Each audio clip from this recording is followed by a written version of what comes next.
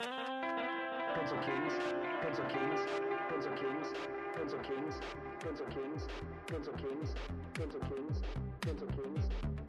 Many people ask if I look down on digital art or, or how I look at traditional media. It's like it's all it's whatever tool works to get your message forth. That's what you should focus on.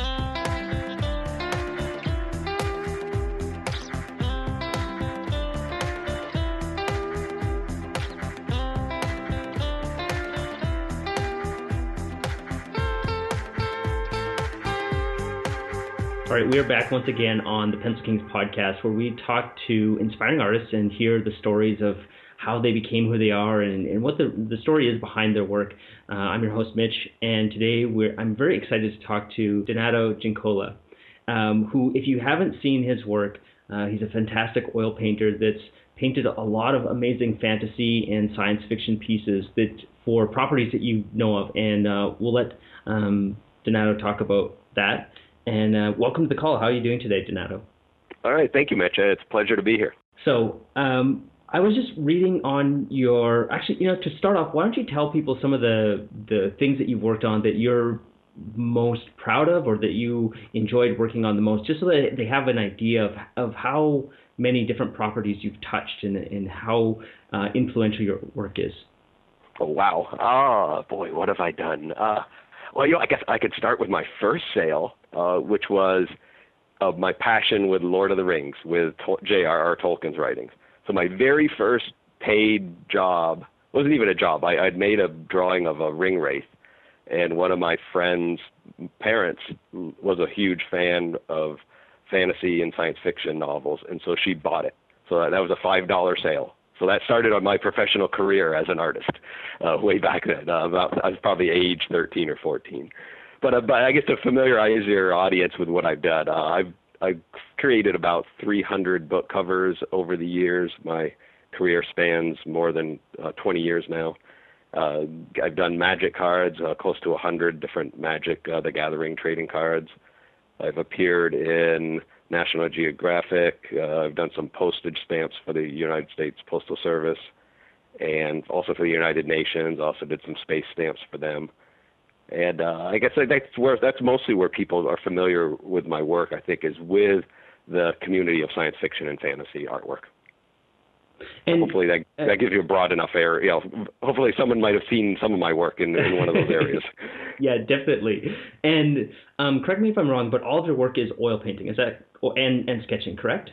That is correct. Yeah, I I'm I'm a dinosaur here. I I, I grew up learning how to draw and paint, and was right in the middle, right at the beginning of my career was when the digital technologies, uh, Photoshop was being developed.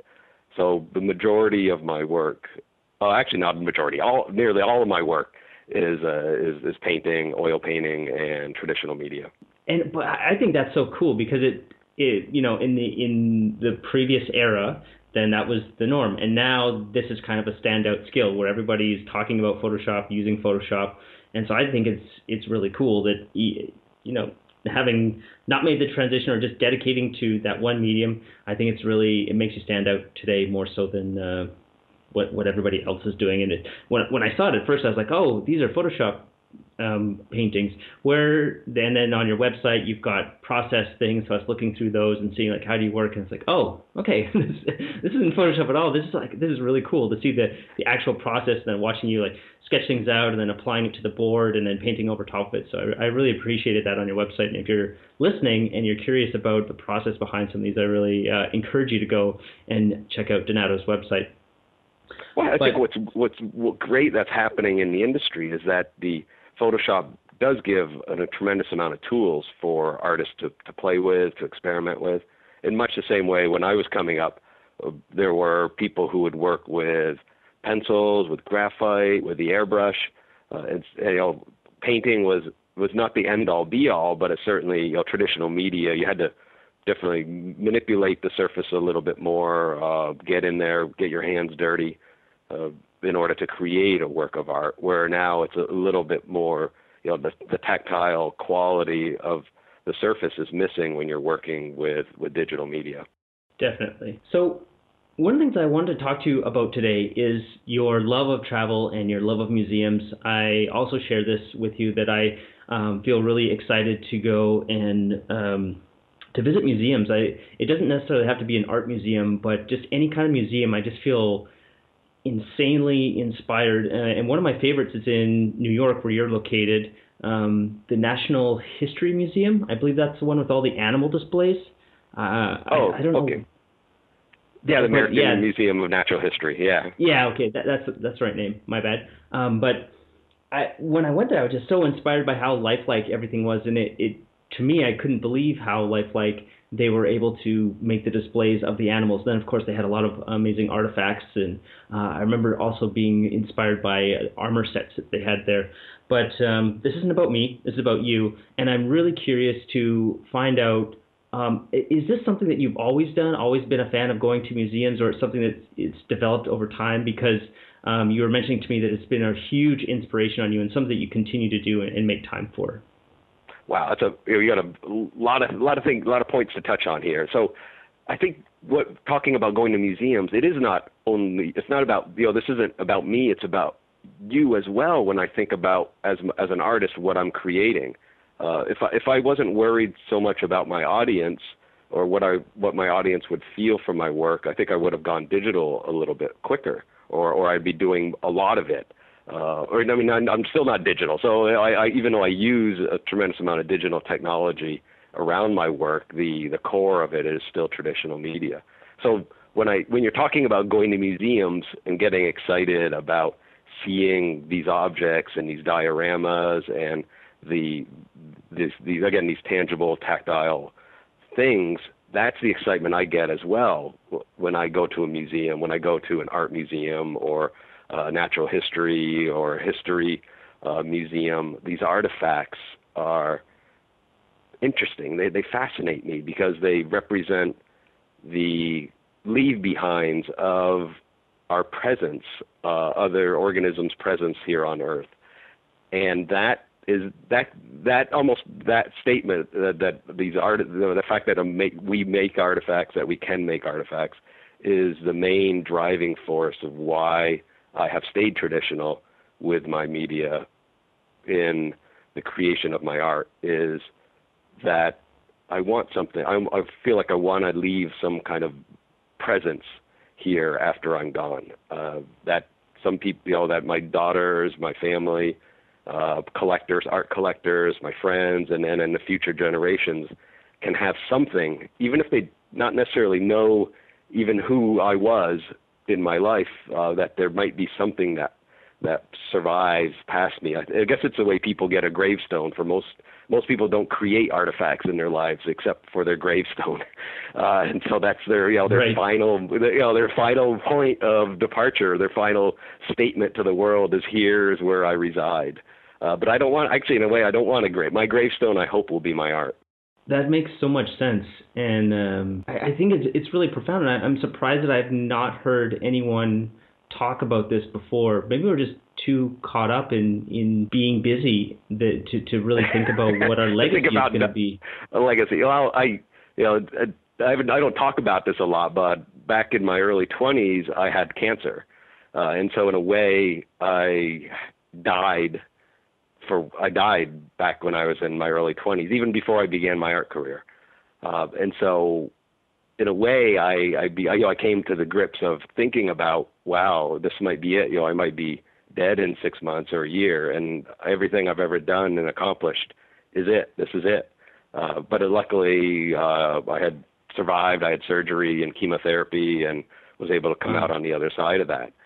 And that's that gave me a second chance you know, a second run, and I had made, in a way, I made sure that I wasn't going to blow it. Uh, but uh, but I'm mm-hmm. consciously, you know, every day, I'm not thinking about it. I'm, it's not something that sits on my mind and overrides all my other decisions. But I do think about what you know, what we all leave behind, and, and the people we touch, and the things we do, and uh, and the, what what is your legacy when you when you finally depart from here? And it's all of a sudden this interview got really heavy, but uh, but I'm thankful. Sorry, yeah, I didn't, I didn't mean to figure. Yeah, that's like okay, people are going to start tuning out here. and Go, wow, this guy's really depressed. Like I don't want, I want to, I want to listen to a happy artist. Well, here, let's go, no. let's go happy. Let's you know, let's t- go back to that museum thing. Is uh, you know, going back. The the reason why I love going into museums is is to get re-energized, is to get excited about those artifacts, about what you can make and what what beauty there is that that these people have left behind. And and many times we don't even know who these artists were, right? You know, you have these unknown artists uh, creating triptychs, or you have even like going back into the caves of Lascaux. You have early humans drawing on the cave walls. Yet and yet there's this beauty. There's this uh, awareness of the the world and the projection of their feelings and their desires and their experiences and there it is recorded for us in in these art forms. And that that gets me so excited about making art that I can you know about the world around me about what I experience and sharing that and and getting that back out into other people's hands and and and getting them excited about what they can do as an artist, what they can experience, and even how even people who aren't artists, just having non-artists enjoy art, you know, getting inspired by what I what what they might see in my work or what they see in other people's artwork, and how they can better, in a way, better their lives, better their experiences through these relationships with these objects.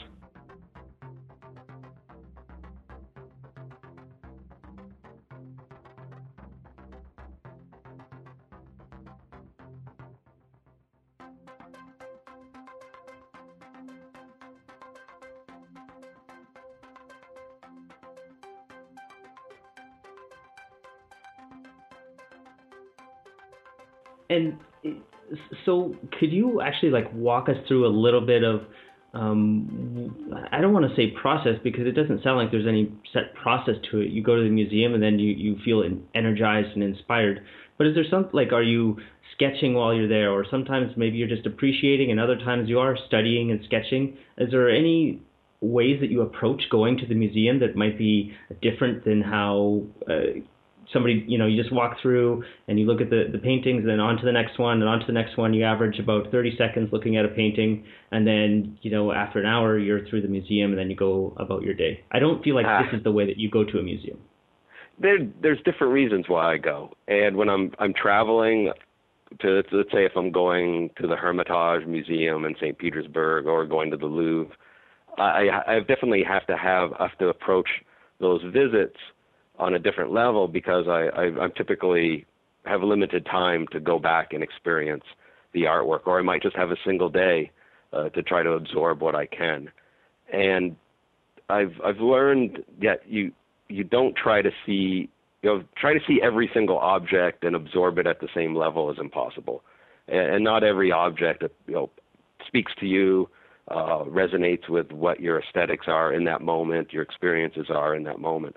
So I what I the way I tend to tackle a museum is I'll almost scan it, uh, like flip, you know, walk into a room and just quickly glance around and see what hits you in the gut. You know, see see what images just resonate with you, whether it be the graphic quality, the content of what's going on inside the stories, or just a you know the scale of the object, or it's just the craftsmanship. Even if you're not looking at paintings, if you're looking at sculpture or other kinds of artifacts, you know, medieval manuscripts or door carvings, uh, I I will then let things just hit me emotionally, and then I'll go up and take them in. They, they'll try to understand like what is it about this piece that is speaking to me right now, and with that in mind, I'll sometimes whip out my camera, take some pictures of it, uh, jot some notes down in a sketchbook, or just take it in, be in the moment. Uh, you know, art doesn't always have to be so analytical and about understanding the every intent of the artist or what their uh, what their message they're trying to convey or understanding exactly the craftsmanship uh, and mm-hmm. manufacture mm-hmm. of every object. So it's uh, I, and I'm so I mix emotional uh, experiences with very analytical, uh, like a understanding, wish, wishing to understand how the artist or, or workers, craftsmen made these objects. And, and when you go, do you usually go to the museum alone? Um, the, like this is your personal time and something that you enjoy for yourself, or do you go with friends or, or family? It, it's, yeah, you're, you're hitting all both. Yeah, it's all. It's probably the same way with anyone. It's it's both. It's uh, many times I do like to go to uh, the the museums alone because my pace in which I absorb a show and even what what resonates with me are, are, different, very different than my even my close friends who have very similar likes and dislikes. Yet what will hit you at a museum will be sometimes very different things. I I, I go looking at paintings, you know, these many times. That's the majority of what I absorb. But much of what really sometimes strikes me emotionally is not just paintings. It's it's uh, a sculpture. It's a uh, a carving on a doorway. Uh, it is uh, maybe the armor, uh, you know, the etching on an armor, a piece of armor, or a small, intricate little boxwood carving, a little devotional object that is just absolutely stunning and marvel, marvelous to look at. So those, you know, as I'm uh, what what resonates with me and what I want to look at many times doesn't always appeal to my, especially my children or my family.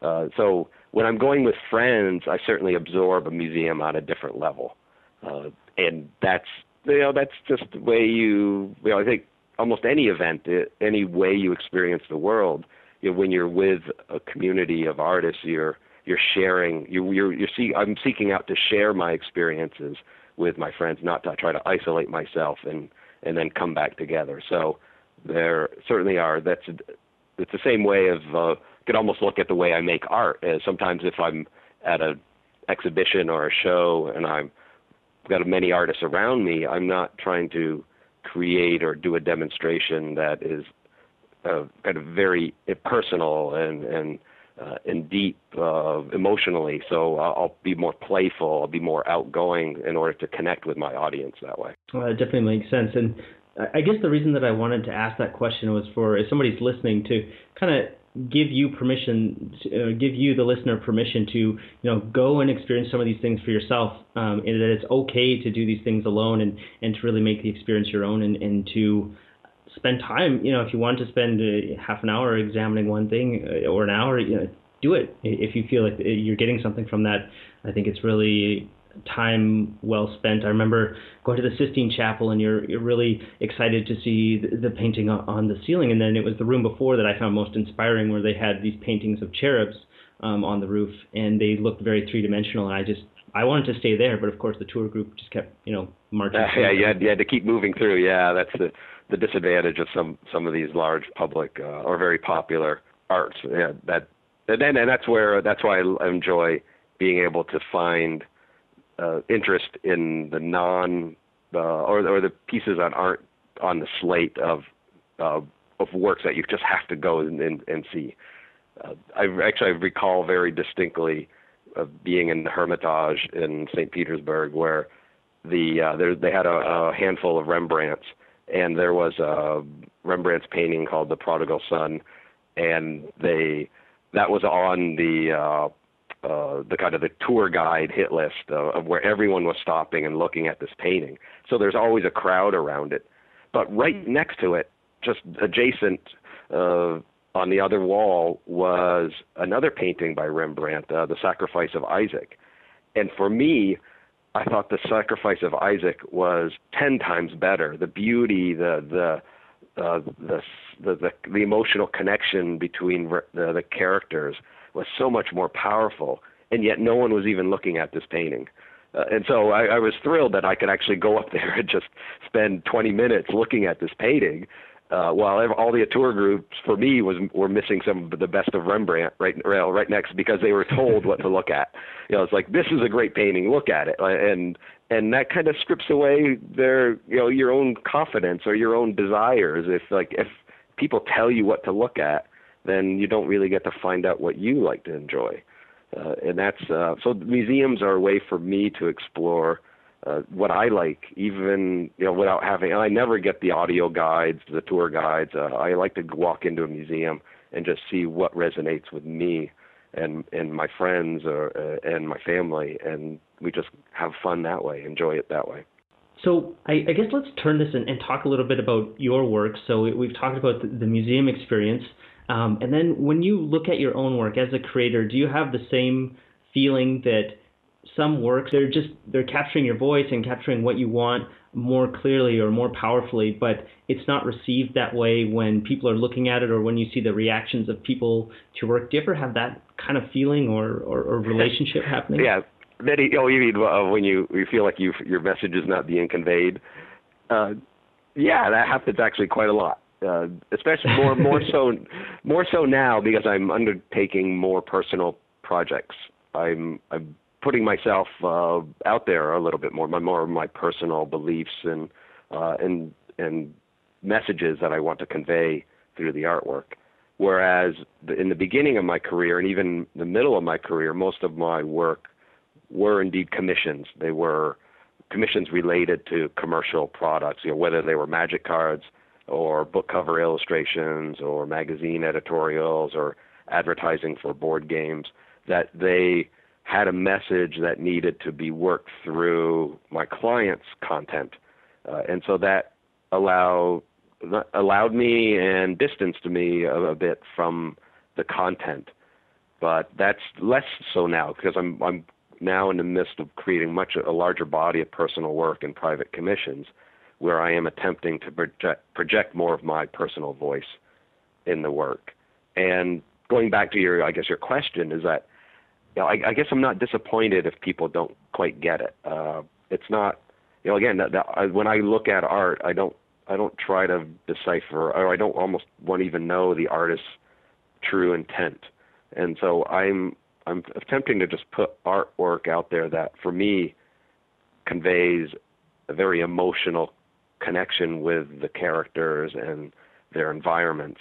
And what specifically my audience takes away I, I'm not so worried about that. Uh, I just want to make a statement. I want to get these ideas out there, and then I can feel happy, and then I can move on to my next idea, my next vision, uh, and that that frees me up. It's almost a bit of uh, therapy in a way. Like each one of these paintings is a way for me to get something off my chest and and out there, and then once you talk about it, then you know, in a way, I visually talk about it, then I can move on to the next issue that I feel like I need to address.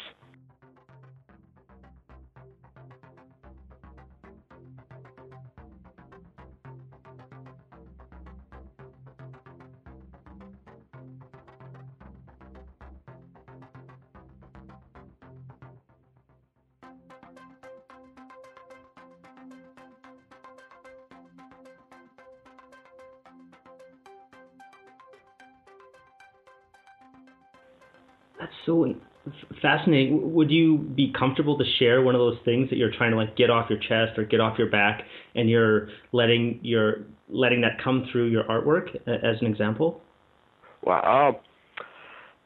Uh, I don't I don't have a specific message in a way. The uh, the much of my recent work has been it's fairly sad. People might look at it being kind of sad. Uh, I, I paint a lot of dead people uh, or or people in a, a near deathly state. So people and and then showing not just the the kind of the the dead person or the dead object, but their the living people's reactions to that that that emotional turmoil around the sense of loss. And so the, the you know, a dead person isn't something isn't isn't something that's not about how or the violence of what brought about this death uh, or even not even just the violence, just the, the moment of, of the, the the situation that brought about the death, but but how people deal with a sense of loss. Uh, and again, you know, I guess that you know, I guess you're looking back at you know my cancer, and like, okay, maybe I'm all all consumed in and thinking about death, but it's not it's not a negative thing. It's a more of a positive uh, about how you embrace change and and how you deal with a very human emotion uh, uh, of of loss. Uh, and mm-hmm. that's um, and so that's that's something that I'm playing out with quite a bit now, and doing that through fantasy and science fiction content. uh, and I'm putting it out there. And so far, it's, I've had very positive uh, reactions to these these feelings, uh, these these these paintings. And I, you know, I just listening to that now. I'm thinking about some of the own lo- my own losses, and I can feel my emotions coming up here. And uh, I think it's it, it's a very strong theme because it's something that we all will experience um, in our life sometime. You know that that feeling of loss and and the fact that you it's in a context or in a genre that also relates to people on another level. I think it's a, a really powerful combination. Well, yeah, that's I, the. Uh, that what you're talking about is that you know you're, you're, you mentioned about your own personal experiences with loss. That's in a way why I I'm painting about creating paintings around these feelings is that it is a human condition, right? It's something that we all can share with and commiserate over, but it's not necessarily a joyful moment, right? But it's it's a reflective moment, and mm-hmm. that's you know I think in a way I, as being an artist, uh, being trying to look at ways to make a statement or make make my career.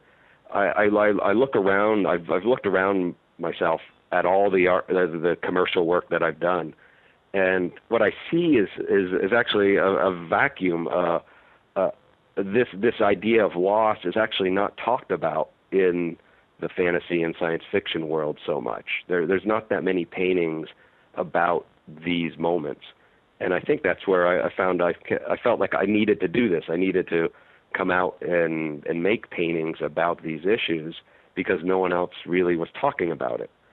Um, you know everyone talks about you know you can talk about the heroes and the wonder and the excitement of new spaces but there's also these very human moments that go along with these these uh you know the worlds that are created so uh going you know in a in a fun reflective way. When i look back at my my youth and as i came up enjoying science fiction you know what watch watching the movies of star wars as, as a great example.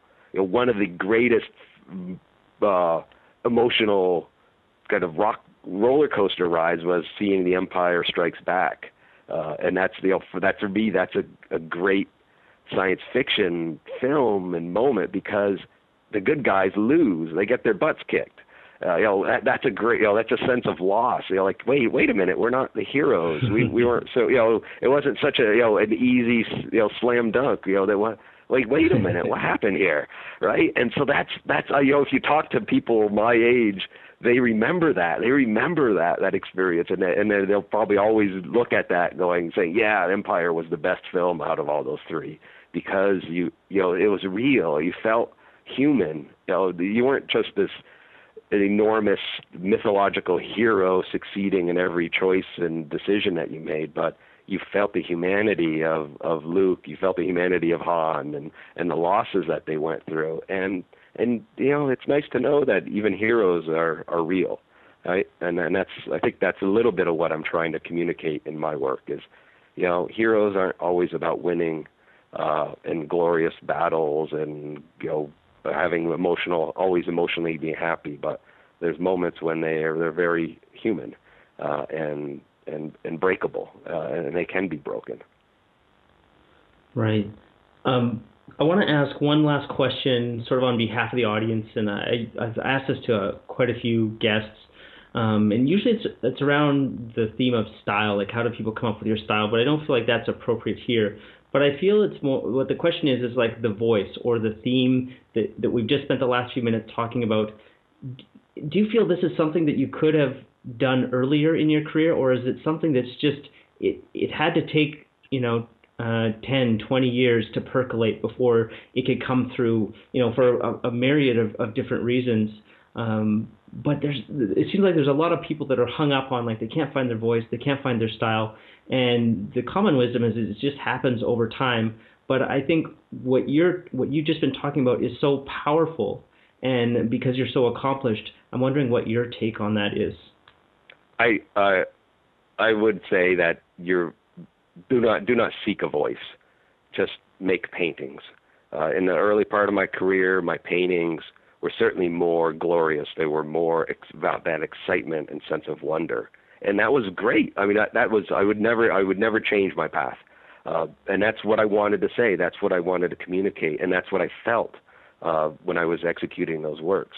Whereas if I, when I look back, if I tried to go out, you know, from the the, the out of the gate and try to make these emotionally deep and heavy paintings, to be honest, I think they would be false. They they would they would not ring true because my aesthetic, my visual language, my my experiences have changed, and I I'm speaking from my heart right now, just as I spoke from my heart when I was younger, and so that would be my advice: is to to seek out your passion and and to paint your passions, and not to try to think about what is deep or know how you know how to make a serious painting. If i if i even though you might enjoy serious painters if it doesn't ring true to what you want to do what what what you want to communicate in that moment then don't try to force yourself into it. Uh, and so that's that goes to with style as well is that I, I I even my style my color palette that's that's all kind of slowly evolved and changed Whereas some people assume that once you're an artist, once you're a successful artist, that your style is your style, that's your voice. But no, your voice changes. Uh, your your desires change, and and as an artist, I adapt my working methods to better merge with my needs for communicating those ideas that I wish to do now, not based on what I was doing 10 years ago, 15 years ago. Uh, and so that's something that uh, I, you know, again, I want to stress is that just you know seek be be malleable. You know, do not be rigid in in your pathway, and and just make paintings, make make art, make make your bring your visions forth as in as many and as being as bountiful as possible with the quality that you, and the integrity that you wish to communicate to with them, and that's where your voice will come, and that's how your voice will change and evolve.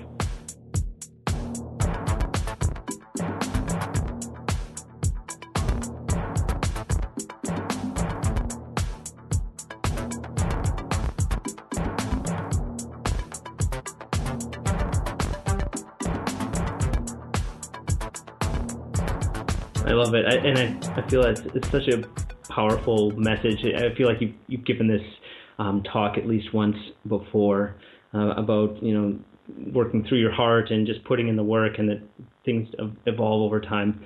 Uh, and if you're listening, it's very powerful, and it's I think it's just another call for you to you know put down the podcast, grab a pencil, grab a paintbrush, uh, grab your tablet, whatever it is, and and do something that uh, speaks to you. You don't have to be so so serious and um, yeah just keep keep creating and, and, great things will happen along the way yeah that's and you know there's a I was just reading about Howard Pyle. Uh, Howard Pyle's a 19th century painter, illustrator, and his teaching. There's a, a, a book I was reading about how he would teach, and he would talk about when you create your idea, when you come up initially with your idea, is you throw your heart into it, and then you chase after it. You chase after that heart. And in, a way, what he means is first you start with emotional integrity, emotional intent, and then you chase after the resolution technically. You find what you need to do technically to make and communicate that emotion, whether that's getting your models, your designs, your composition, whatever it is. That you, that does not, you know, you start first with emotion uh, rather than uh, some kind of analytical intent. So you know, I'm it's I'm I'm not I'm so in a way that resonates perfectly with the way I feel and the way I teach as well. Yeah, I think it's I think it's great. Well, this podcast is really interesting because I feel like I, I was just on an emotional roller coaster. We started high, then we went low, then we came back high, then we got low again, and now that it's the end, I'm smiling again. But I do feel a little bit even though it's only been about half an hour, like a little bit emotionally drained. This is this has been amazing, um, and so I want to say uh, thank you so much, Donato. Is there anything else that you want to to talk about? Um, to say, I'm, I'm just going to say like this is your time if you want, because we usually try to to keep things uh, short and sweet, so we're not taking up uh, too much of your day. Um, oh, no, you know, I, I I think we were able to cover a lot of great content. You know, I, I love the fact that way in a way we never even talked anything about anything technical, like oh how you do this and how you do that, what brushes, because it doesn't matter. It does, you know that's why I, I like I, I love seeing digital work. I love. I mean, it's a. I almost regret not being becoming a digital artist because so it's that's such an incredible, powerful tool is Photoshop, and your color management, your values, and what you can do with merging together images is just stunning. I mean, it just makes me envious of all so many of these other artists. But you know, I've chosen my path, and I've decided this is what I'm good at. This is the way I need to communicate. And uh, and like I mentioned, you know, I I I, I didn't feel right stepping into to doing digital work because the, my message did not marry as much with the medium, and so that was my choice. And and so therefore, many people ask if I look down on digital art or or how I look at traditional media. It's like it's all it's whatever tool works to get your message forth. That's what you should focus on. All right. Well, we'll have uh, show notes from this um, at pencilkings.com slash Donato Giancola. That'll be D-O-N-A-T-O dash G-I-A-N-C-O-L-A. And you can also check out Donato's website at Donato Art. Uh, so that's D-O-N-A-T-O-A-R-T dot com. And you can see tons of his amazing examples. Uh, I really encourage you to go there. And you, you might even want to grab a print or uh, because I feel like a lot of people listening like Lord of the Rings. They like Game of Thrones. They like science fiction. Like you're, this is your audience, and so I really encourage you to go and, and check out some of Donato's work. Uh, is there anywhere else that people should check you out, or um, things that you have coming up? I know you, you exhibit and you, you go out to comic cons and. Um, That's right, uh, San Diego Comic Con. Uh, I, I post uh, a, about twice monthly blog on some, mud, Muddy Colors. You just type in Muddy Colors blog you'll you'll find it on the uh, internet. And uh, you know, I've done the Game of Thrones calendar for George Martin uh, last year, so that's another place to see a, a nice collection, 12 of my very recent and, uh, and kind of challenging paintings. Uh, but basically, my website and going, you know, a lot of conventions where I show. Uh, this fall, I'll, I'll be showing at IlluxCon in Pennsylvania, so I'll have uh, a large body of original artwork there as well including some of these uh, dead people uh, paintings, these emotionally challenged uh, pieces. And uh, I, I, guess just as a last thing, I'll say since you're kind of all over the place, going to all these different live things, I did notice that all, uh, your upcoming events are on your website. So if you ever wanted to um, go and meet Donato and, and have something signed or something, I'm sure you'd be happy to do that. And uh, you can see what your schedule is. And um, so that's a, that's probably the best place to find out where where you're going to be with what um, upcoming schedule. That's right. Yeah. All right. Thanks again for listening. Uh, thank you, Donato. I really appreciate it. And I, I, I really appreciated the emotional roller coaster. It's a, um, I never know where these interviews are going to go. And I thought at the beginning, like, I, I would be having, like, regurgitating the same stories again and again, but it's it's still unique, different every single time. And so I'm really thankful for you uh, taking time out to uh, talk to us. Oh, you're, you're welcome, Mitch. It was a pleasure. And I, I hope your audience is able to get something uh, out of this conversation we've just had. Thank you again. All right. Thank you so much.